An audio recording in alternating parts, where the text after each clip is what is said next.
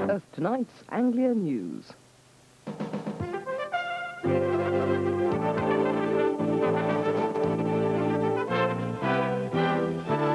Workers protest after a factory has refused plans to expand. Staff vote against industrial action at British Aerospace, and the RAF salute the closure of Ely's military hospital.